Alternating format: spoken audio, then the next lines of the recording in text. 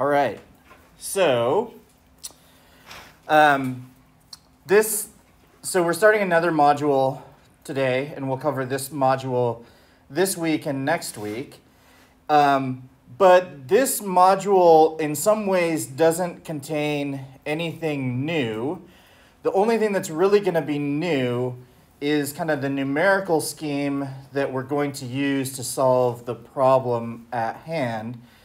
And the specifics of the problem at hand are simply, right, so the, the past kind of month, effectively, we have covered um, diffusive processes, right? So we covered diffusive processes in one dimension, the specific system that we kind of were applying diffusion and numerical solutions to was uh, the transport of heat from the atmosphere into a, a permafrost-laden soil and examining right, the behavior of that permafrost-laden soil as a function of the temperature forcings under both kind of steady, a, a steady but varying forcing and one that had a trend to it.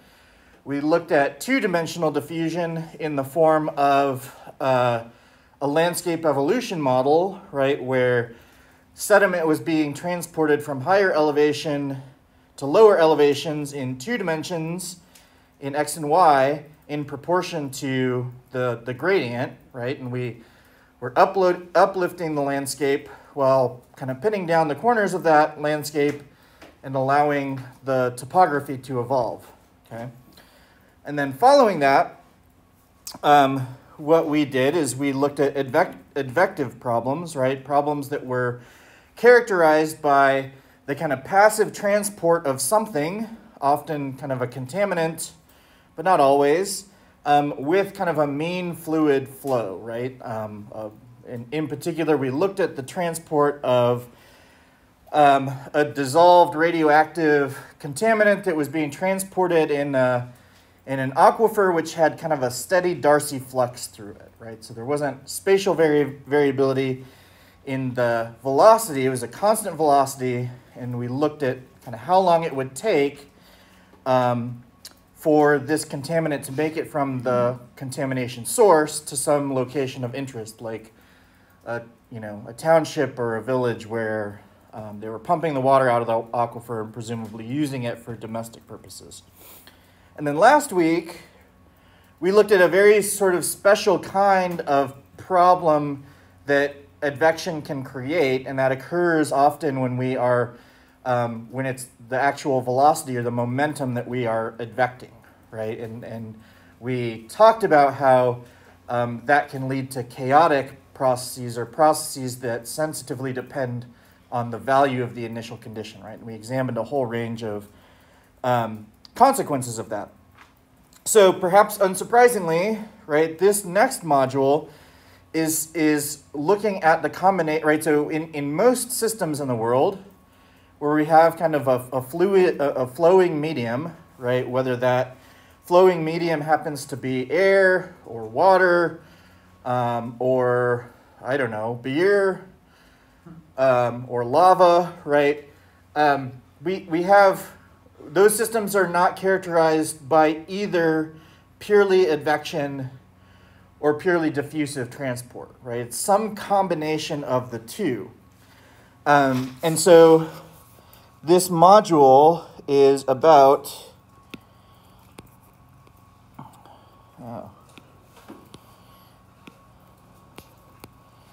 advection diffusion problems. Um, and frequently, uh, this is a, a minor side note, but um, oftentimes, uh, particularly in groundwater systems, um, when we talk about transport, especially of kind of um, you know dissolved uh, dissolved constituents, whether those are kind of like ions, right, or cations, um, things like weathering products or contaminants, right? Um, we don't necessarily uh, call, so groundwater folks will distinguish between diffusion and what they call dispersion.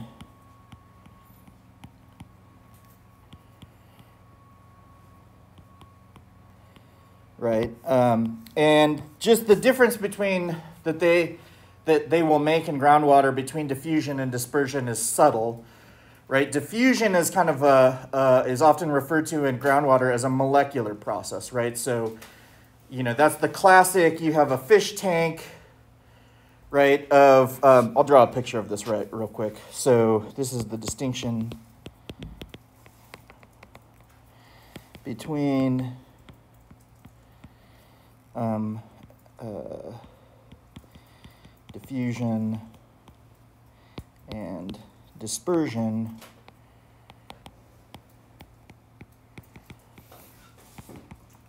in, uh, we'll just say fluid transport.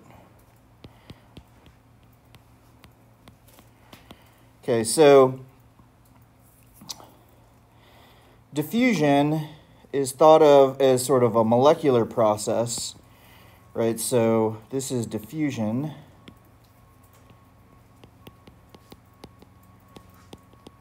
And it's a molecular process.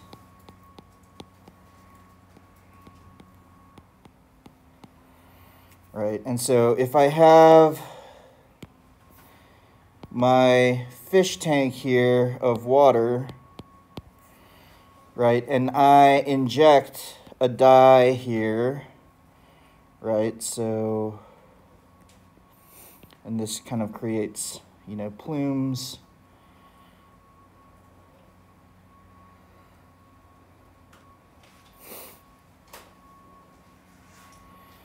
Right, so this is like a plume of dye.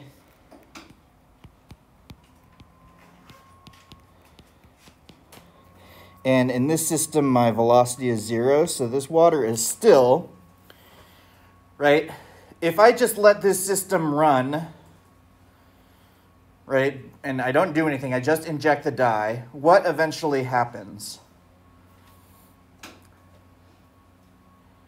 to this dye? Like if I let this run for all eternity,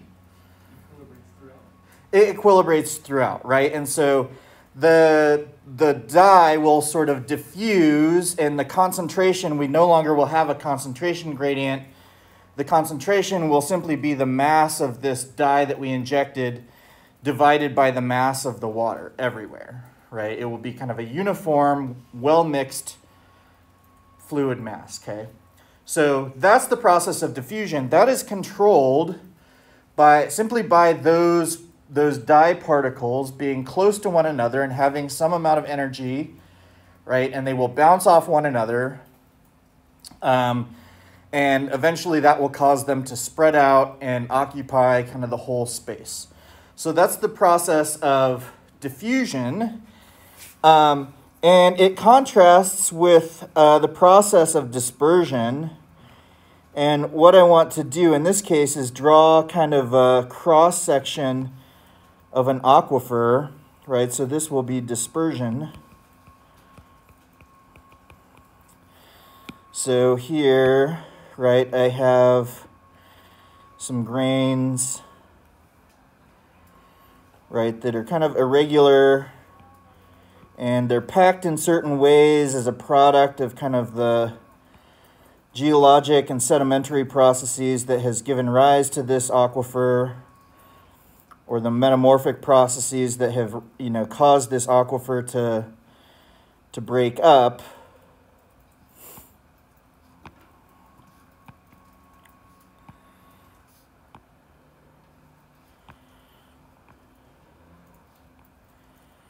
Right, so I'm going to add a bunch of particles here. And in this case, my velocity is non-zero. So my velocity is greater than zero and from left to right. Okay, and now let's say, right, so I have, you know, this is a saturated media in here right? So there's water everywhere. So this aquifer is saturated.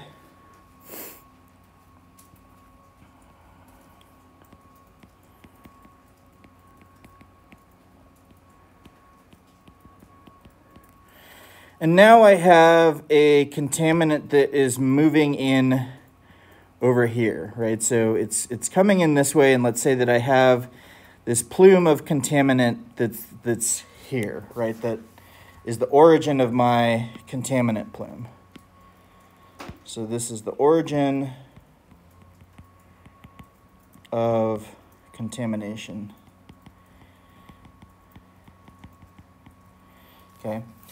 Now, what's going to happen, right, is that this contaminant plume, when it encounters these clasts, these sediments within my aquifer, right, what's going to happen is that some are going to go around this way, others are going to go around this way, right? And then this process will will kind of continue to happen, right? So, um, you know, these some of these will then encounter the next rock.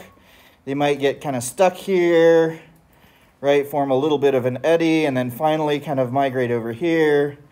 Some will go this way, right?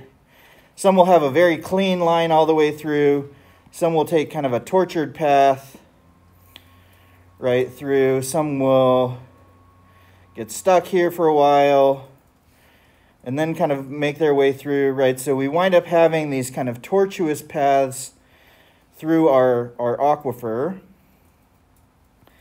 that's a product of kind of the interactions of individual kind of contaminant particles with these individual grains, right? And the net effect of this is that when I go downstream, the concentrations will reduce because this initially concentrated stream of particles has now been forced through a sequence of just mechanical properties or mechanical processes into kind of this wider plume, right? And so this is, dispersion is a mechanical process, right? So it happens. It happens to things that that you know, um, right? It happens to any anything, and you don't have to invoke anything about the chemistry, right? You don't need to know anything about what this contaminant is and its kind of affinity for each other, or its charge, or how much energy, what its temperature is, right? This occurs purely due to um, due to mechanical process, right? Just interactions of individual particles with the grains of the aquifer. Now, the mathematics of these is exactly the same.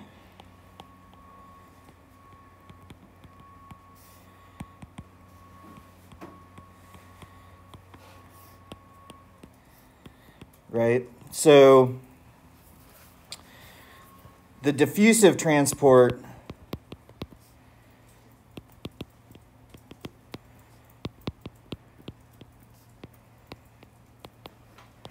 will look something like this, right? So it'll be something like um, D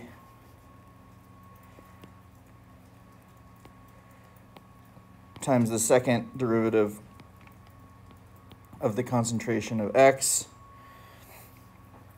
Okay, and uh, um, we'll call, oops, we'll call this d sub molecular, d sub mole, right? Whereas the dispersive transport looks something like this, right? So this is like d mechanical times d squared c dx squared, okay? Um, point of fact, almost always,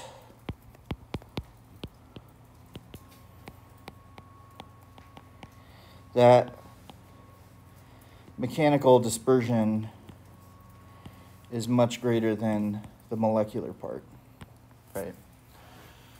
Um, so, oftentimes what you will see in a lot of transport problems and environmental problems, whether that's in aquifers or whether that's actually in rivers, right, is that we just, you know, so you can have both of these terms going on in this advection, dis- dispersion, diffusion problem, but often we just neglect the molecular diffusion part of the problem because the mechanical dispersion part is much, much more important. But at the end of the day, the equation looks exactly the same um, as if it were an advection diffusion problem, right? So that's some background into why some people will call this advection diffusion, diffusion. Some people will call it advection dispersion. Those are mathematically the same thing. It's just something's going on differently kind of at the mechanical scale. So if you're confused by that, if you ever read something, dig a little deeper ask the person you're talking to, hey, are, are, you know, is this mechanical dispersion that you're talking about in this, or is this molecular diffusion, or some combination of the two? Because um, they should be able to tell you. Okay. Okay.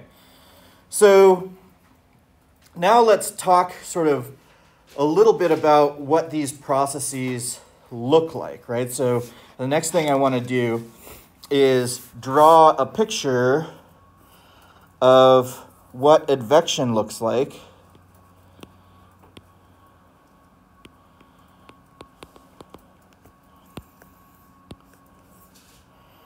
With, with as a function of time, right? So this will be, let's see how much, I have enough room? I have plenty of room. Okay. So this will be at some time t equals 0, kind of initially. This will be at some subsequent time.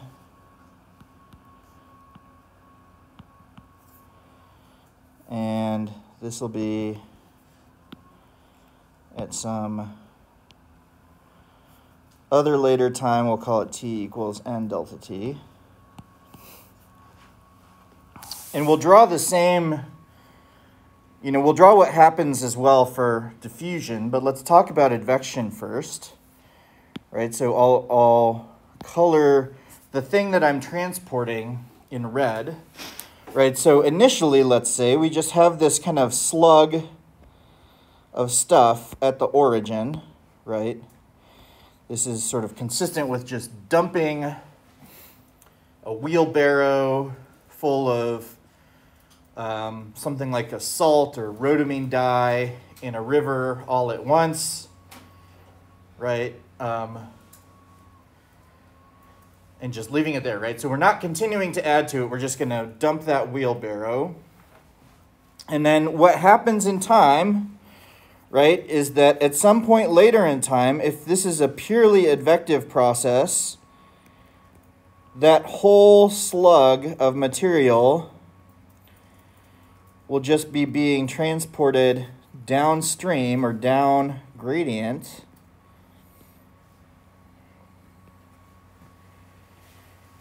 In a way that doesn't affect the shape of that slug, right? That slug moves as kind of a monolithic entity through our river, canal, stream, pipe system, whatever.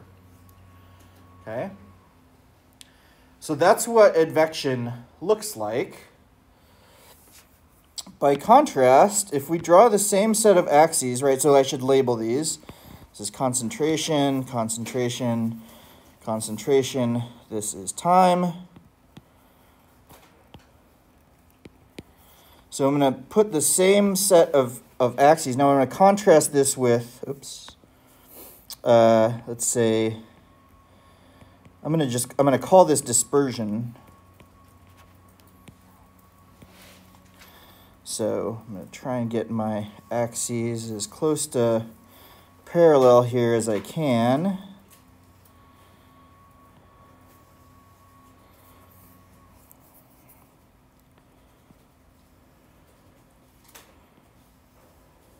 Okay. This is still concentration, right? So C C, C, still time, T, T, T. Okay. And now, what happens, right, is if I have that same slug of, you know, some contaminant at the origin, right, what will happen with time is that slowly, right, this concentration will kind of spread out.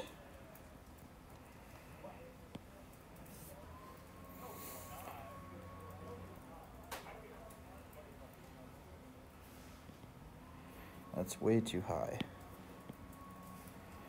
Let's see. Okay.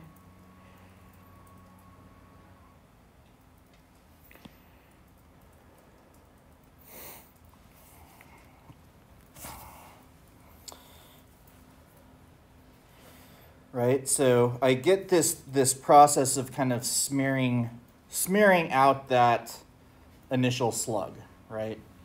I put it there and gradually just because there's so much concentration gradient, right? Transport is really high at the beginning and then at further time, right, it sort of is even more smeared out. Now, um, I heard some of you chatting about areas under curve at the beginning of class right? What does the area under this curve equal? If this is concentration and I integrate this, and this is a conservative property, right? This is literally like a rhodamine dye or a salt that never leaves the environment or heat, right? Heat is, you know, extremely well conserved.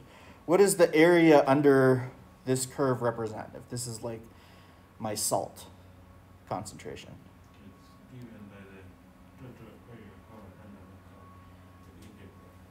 It's so the total area is equal to what? This area.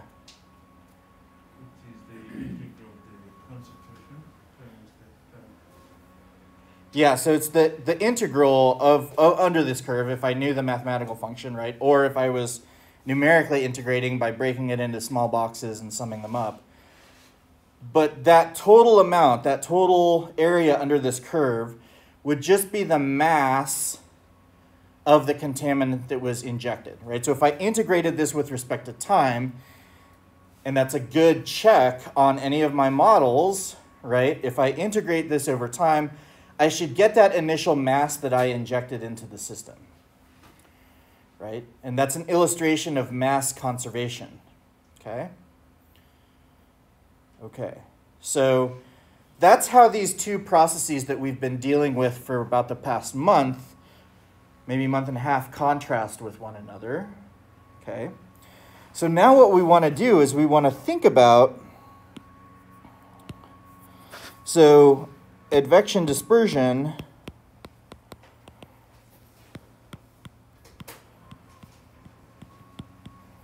is just a and this has probably been a while since a lot of you have heard this term. Maybe this is the first time some of you have. Superposition of advection and dispersion processes.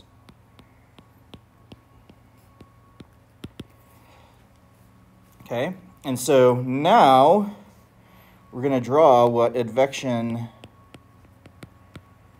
dispersion looks like. Okay, so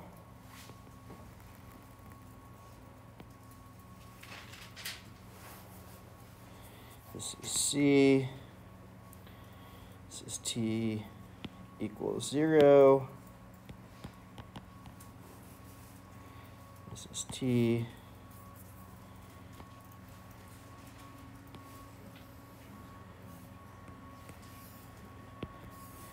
This is t equal to i delta t, and this is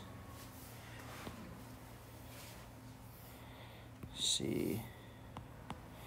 This is t equal to n delta t.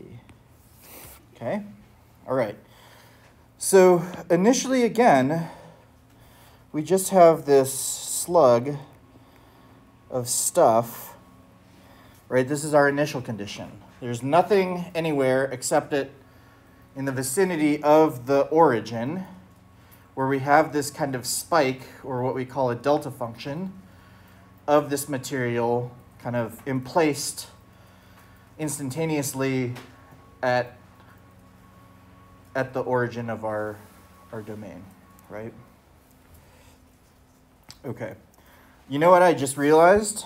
I made a mistake. So these are not T's, these are X's. I apologize. Okay, so this is distance.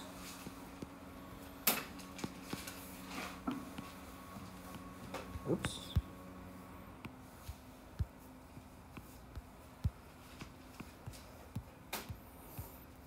This is also distance.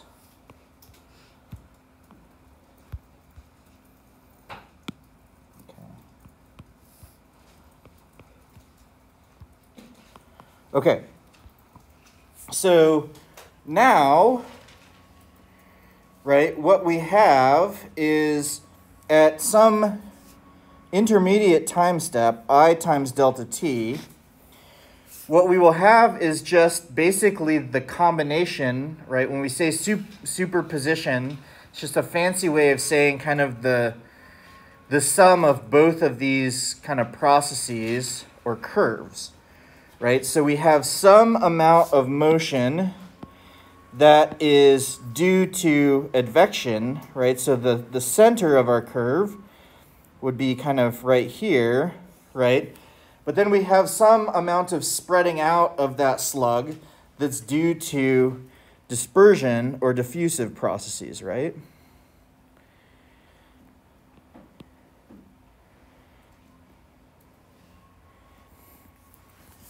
And so we can think about this, right, as, as this kind of being controlling, this is controlled by advection, right, and then the spread of this, this part here is controlled by diffusion or dispersion.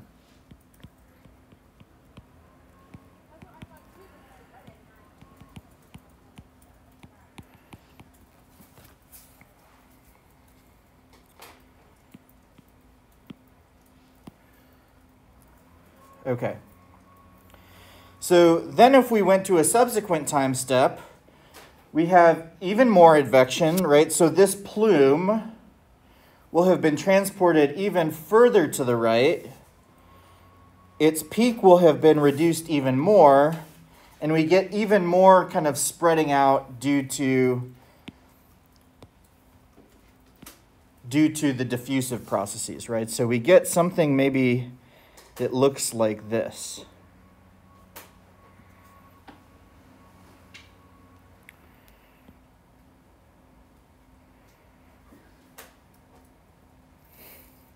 So again, let's label and say that if this is the centroid, right, this distance here is controlled by advection.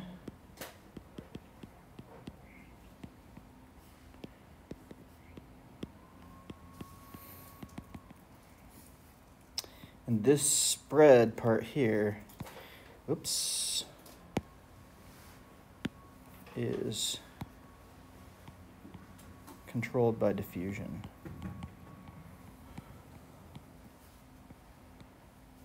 Or dispersion.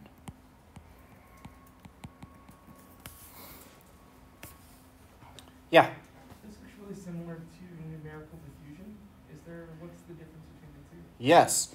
So the question is, is um, this looks awfully similar to this process we encountered when we did our advection modeling, right? Um, we saw that if we weren't careful with that Courant condition, we got this process of numerical diffusion or kind of an artificial spreading out of that kind of slug of contaminant, right? Um, and the, the question is, is, well, how does that relate to actual diffusion? Um, and the answer is, is that it's, uh, it's, it's got a complicated relationship with diffusion.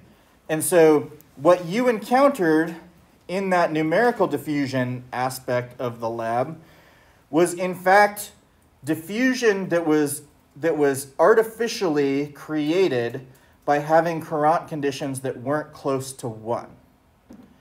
Right? So you artificially created diffusion where there should have been none. Now, in here, in an advection dispersion problem, what we're saying is that no, there is diffusion, there is dispersion, and it's a physical, an actual physical process, right?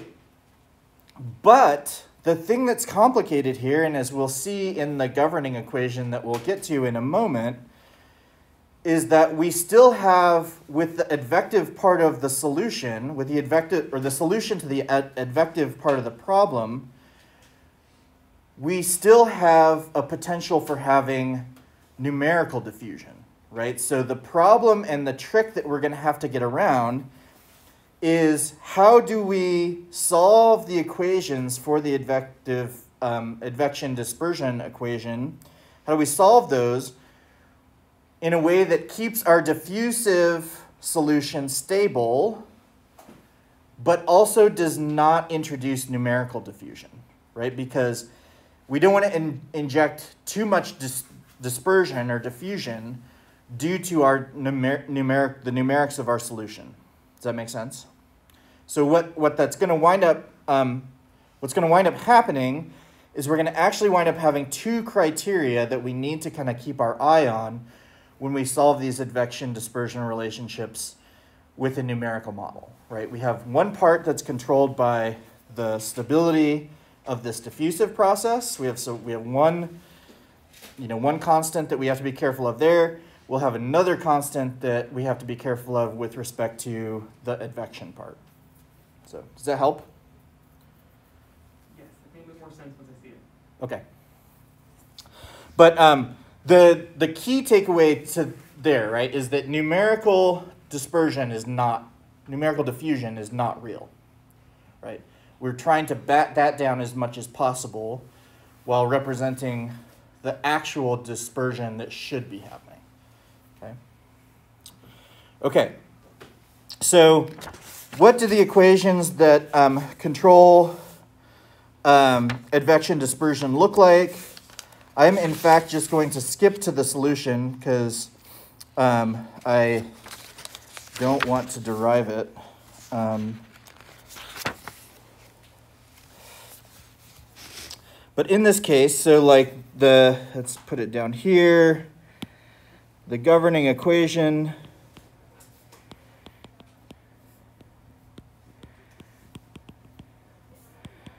the advection dispersion problem is Um, and what you'll see here is that this is literally just kind of the, the sum of both the advection and dispersive parts, right? So we have something like dc, d, um, this should be a full derivative, sorry, dc dt plus u times the partial of concentration with respect to space minus d times the second derivative of the concentration with respect to space. And this is going to be equal to our sources and sink term, right? So if we have no sources and sinks, right, we're not pumping any water out or injecting any water, contaminated water. This is zero. But what you can clearly see here, right, is that you should recognize this is the advection part.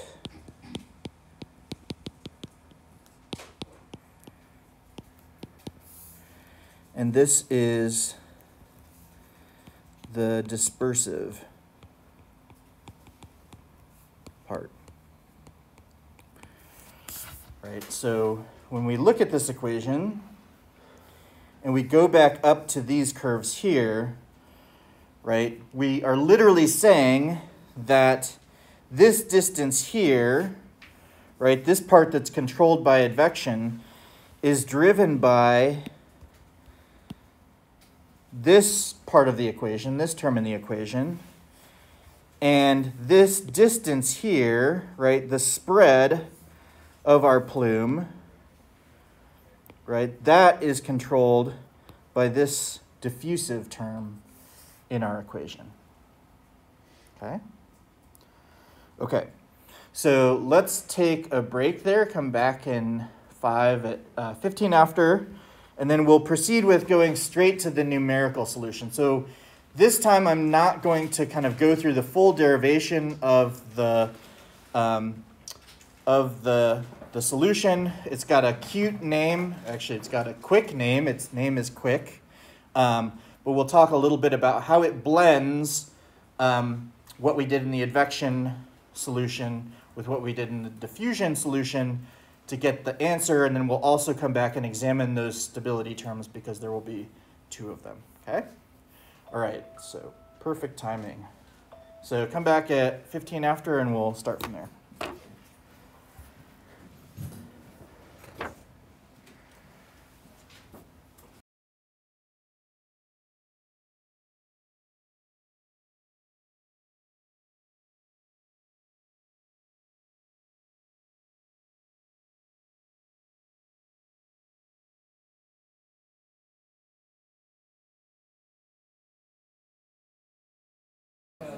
Okay, welcome back. So, um, what I want to do now as we pivot to implementing the numerical scheme is describe the problem that we're going to be working on for the next two weeks, which is kind of one that's near and dear to my heart, um, but is, uh, is this. Um, this problem of infiltration of water into, into soil, right? So, um, so let me do the first thing that I, as an engineer, was taught to do, right, which is to draw a picture. So uh, again, we're going to be thinking about vertical motions now again, going back to kind of our heat diffusion problem, right? So what I want to do is, here is my soil column. Right, and uh, this is going to be, um, so this is, this is my soil column. This is also a, a plot of my soil moisture values, theta. Draw that better. Theta. Uh, that was not all. Okay. Theta right? And then this is going to be depth, Z. Okay, and this is, this is my, whoops. This is my soil column.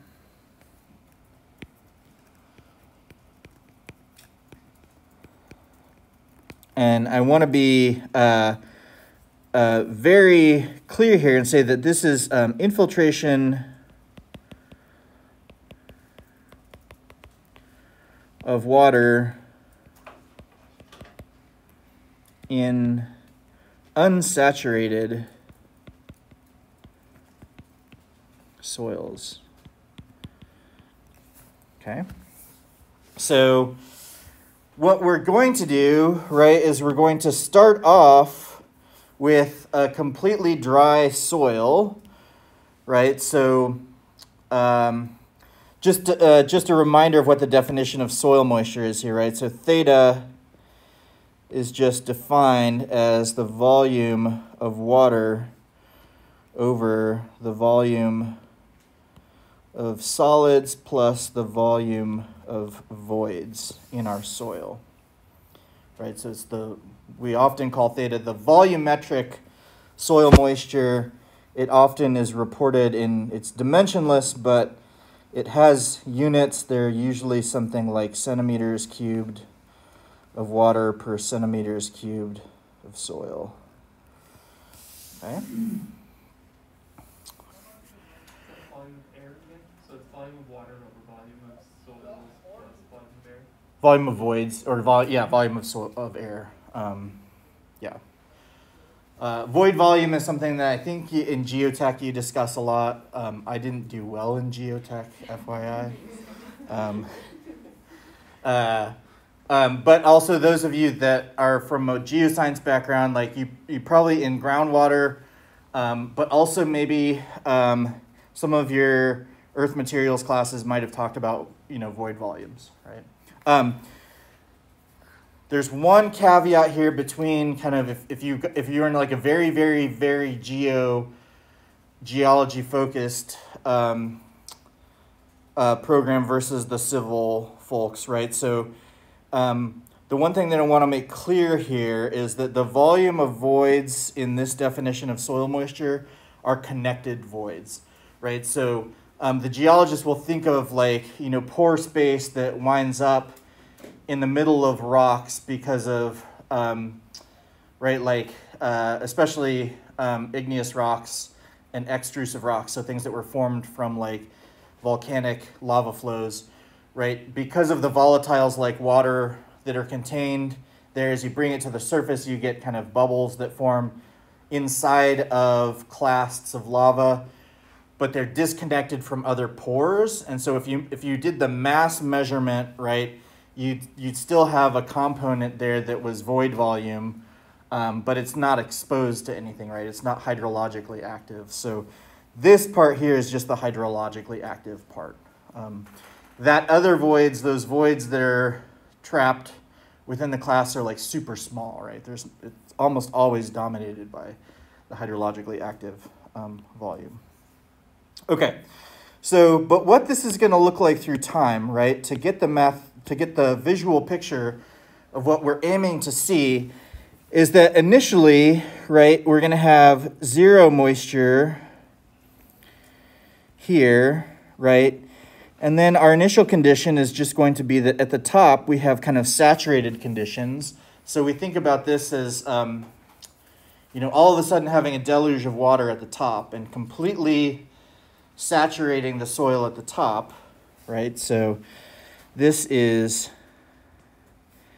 t equal to zero, right? And then through time, we're going to get some curve that looks like this. Uh, I don't like that. Um, we'll get some curve that looks like this. It's a bit too diffusive, right? So this would be like some um, t equals 1, right? And then we get another curve here that's t equals to 2. And then let's say that we have some other curve here. This is t equals 3, right? So, so why is this an advective dispersion-like problem? Well, you could probably graphically see it, right? That, okay, at some subsequent time, you know, there's some kind of velocity with which that you know, water is propagating into the ground, right? But there's also some kind of smearing of that wetting front that looks like a diffusive problem. And at a later time step, you can see that there's uh, still some net motion into the ground that is um, advective-like, right? Um, we call that uh, part often the piston flow process, right? Because it's like a piston is moving into the soil column. We have even more dispersion. And then when you go out to later time horizons even, right, we get a point at which maybe we're even increasing the soil moisture at the, at the bottom of our soil column. So we see this advective part and we see this kind of dispersion part. So in, in actual unsaturated soils, what's the rationale for thinking of this as an advection dispersion process? Right, so why can infiltration, oh, spelling,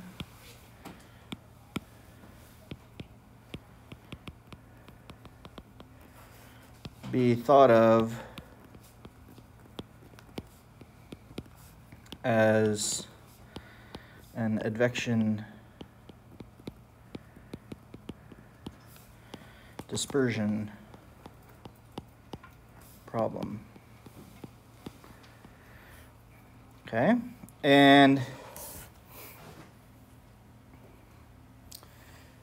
so what that requires us to do is think about okay, what is the physical process that's responsible for the advection part? What is the physical process that's responsible for the diff- diffusion or dispersion part? Okay, so if we think about that.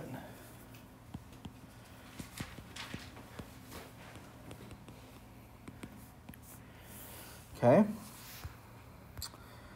Uh, so why why is there kind of an advection part to this problem? What is responsible for pulling this wetting front of water down into the soil? What's one of the things?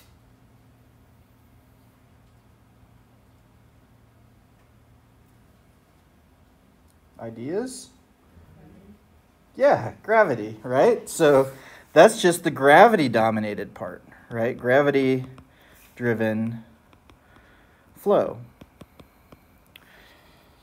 This water up here has a weight, right? And presumably we're talking about the a soil column on Earth, right? And so the the weight of that water, the mass of that water is being pulled towards the center of the earth by gravitational forces. So there's a gravitational part of this, okay? So all right, gravity driven flow. Okay?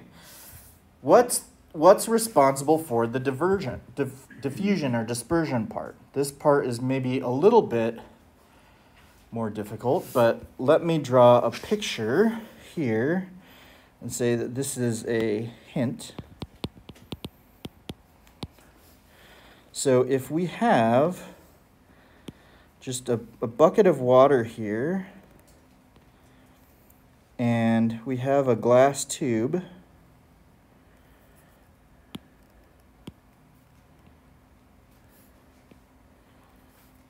right? So, and this is just atmospheric pressure out here.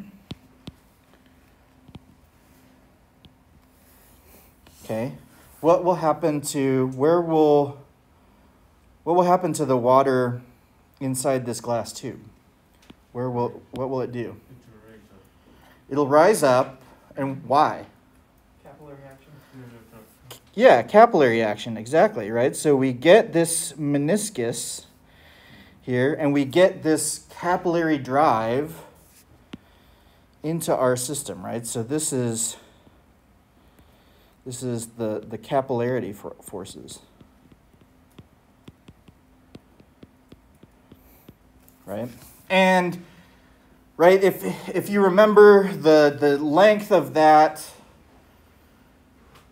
right, of, of how high that water goes is a function of a lot of things, right? It's a function of uh, the diameter of the tubes, it's a function of the viscosity of the water, and it's actually a function of gravity, I think. Right. Yeah. The the it, right and this is measured in part by this contact angle. Right? This this contact angle. Right? The higher the contact angle, the greater the capillary forces, right? And it, it, so this has to do with surface tension, right? It's the it's the water adhering to the sides of this glass tube, right? So the dispersion part is driven by capillary forces. And the way that we often think about this, right, is um, uh, I don't know if they usually cover this in maybe like advanced hydrology classes. I don't know if Jim covers this in his hydrology class. Um, but we often think about um, soils, right, we conceptualize soils as just a bundle of capillary tubes, right? So our model of soils is just a, a bundle of capillaries, capillary tubes, with just different radii, right? So we think of our pores as just this bundle of capillary tubes, right? Some are tiny and some are much larger, right? So the dispersive part is due to capillary forces in the soil. Okay. So, um, or you know what we call, um, we, we refer to this in net as kind of the, the tensive or tensile forces in the soil, right? That's the tendency of the soil, right? If you think about the soil as being a bundle of capillary tubes, that if you put that bundle of capillary tubes in water, right, you're going to get um, different, you're going to get the water kind of going up to different heights in those capillary tubes as a function of the diameter of those capillary tubes. And if you plotted, right, if you, if you plotted the heights of all of those capillary tubes, that capillary, that height, right, would, would look something like this. It would look like a diffusion plot with kind of the mean capillary diameter representing kind of the midway point, right? And the really small capillaries having higher, the really big capillaries having a much lower kind of capillary um, capillary height. Okay, so that's why we can think of this as a as an advection dispersion problem. Okay, so what we're going to do is I want to draw the domain that we're going to be simulating. So this is the numerical domain.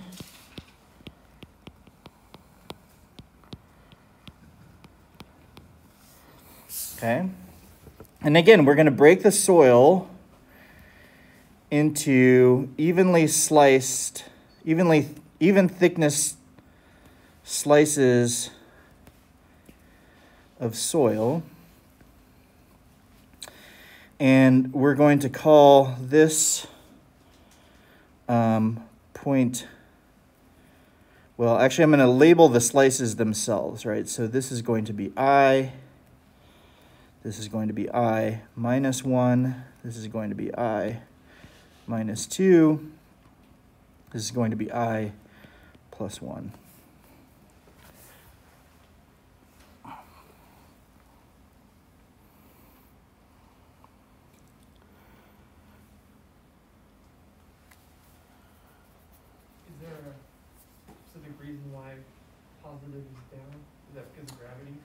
Yeah, so if we think about this like uh, positive into the soil is, is the equivalent of just, you know, if we if we think about this curve that we drew before the, um, these curves that we uh, drew before, right? The way that we can think about this as um, is effectively just taking this figure here and rotating it clockwise 90 degrees, right?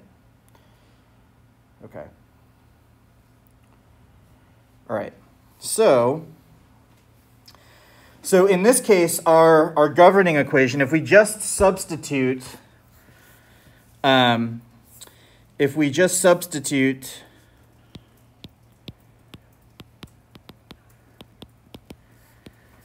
theta into the ADE, that's our advection dispersion equation. Okay. We're going to get something that looks like this. d theta dt plus u, and I'm going to come back to that in a second, times d theta dz minus d d squared theta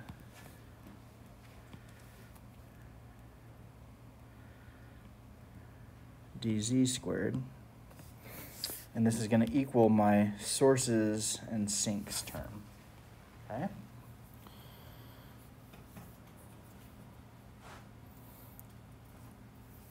Okay. So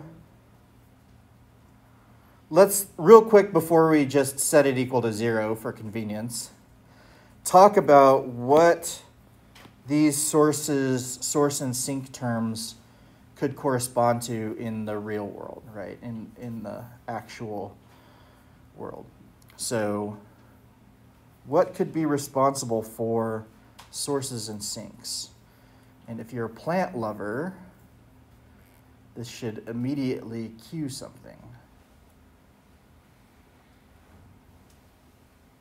The plant, Yeah, the plant's doing what though? you going to across the, the sinks, to absorb the water of the soil. They absorb water into the soil, and then where's it go? It tries up, right, to the top. Yeah, so what's going on here, right, is that these source one of these source and sink terms is that there's what do plants put down into the soil? Roots, right? So those roots diffuse water into them, right? And and what's driving that is the demand for water by the atmosphere, right? So what's happening is that the plants are opening their stomata they're exchanging water with the atmosphere in exchange for carbon dioxide. Right? That carbon dioxide comes in and they turn it into carbohydrates. Right? Um, and that water leaves and that creates a, a a tensile force down into the soil in which they're pulling up water out of the soil. So the big term that we think about in terms of a source or sink in the real world is is transpiration by plants, right? Plants actively pulling water out of the soil. Okay? So now we're just going to set that equal to zero. Okay? Um, now, in the real world, right, we would have to think about that. We'd have to say, okay, where are the plants pulling water from? what's cause right what's the rate at which they're doing that and that that's where we get into perhaps an advertisement for a course that will be taught in the future the land atmosphere interactions right so the atmosphere is controlling how much water the plants demand right and the plants respond by either taking that water up from the soil or if it's not available uh, shutting their stomata um, undergoing stress and potentially wilting, right? So, so this is where our connection between the land surface and the atmosphere and the deeper soil and the atmosphere comes in. And for now, we're going to completely neglect that just for the purposes of actually describing how the soil moisture changes with respect to time. Okay. So what I want to do is I said I would come back to, right, what is this velocity?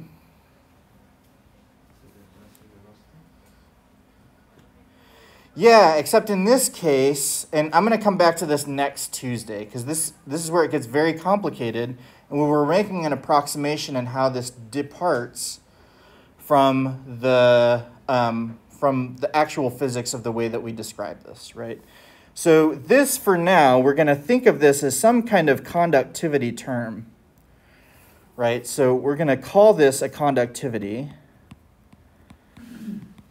right? It's consistent with the idea of a conductivity in the right. So it's not exactly the saturated hydraulic conductivity, but some kind of conduct conductivity. We can call it an effective conductivity, right? And it will have units of length per time,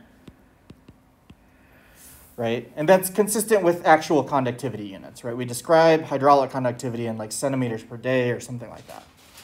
Okay, so it's just some conductivity. We might need to actually fit it. It might be a calibration parameter. And then this is just going to be a diffusion, right? And so this is just, um, this is the soil diffusivity. You can think of that soil diffusivity as just being something that characterizes the distribution of these capillary tubes, right? So if we have a higher D, that might mean we have more of these smaller capillaries, right? If we have a lower D, it means we have more of these big capillaries. Okay? Okay, so if we describe numerically our solution here, this is in your books, so the derivation of it, and there's even they skip steps in the derivation process in your book. But if we skip right to the actual solution, this is solved using the quick scheme.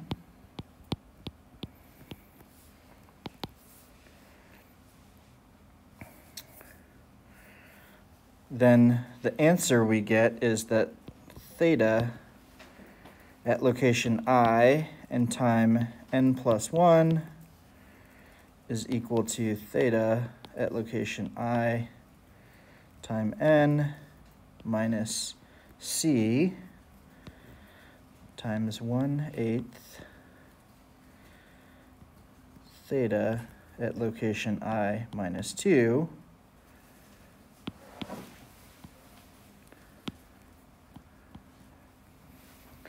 time n minus 7 eighths times theta at i minus 1 time n plus 3 eighths theta time i location i time n plus 3 eighths theta location i plus 1 time n. Okay. Then there's another term here. So this is actually the advection part. And then we have the diffusion part, which is alpha times theta location i minus 1 time n my, uh, minus 2 theta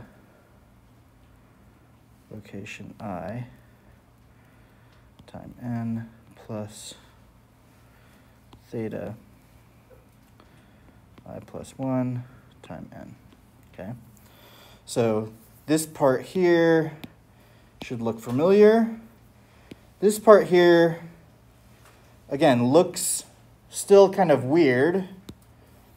looks weird, but maybe given the discussion we had about numerical integration schemes last Tuesday, right, we talked about Runge-Kutta methods. Um, maybe this becomes a little bit more, right, there's a mental model we have there to connect to at least. Okay, so here's the advective part, here's the diffusive part. Let's define what these constants will be. C will equal our effective conductivity times delta T over delta X, right? So this is that same Courant condition. And the diffusion parameter is equal to D delta T over delta, sorry, this should be a Z. delta z squared. Okay. And quick will be accurate and stable when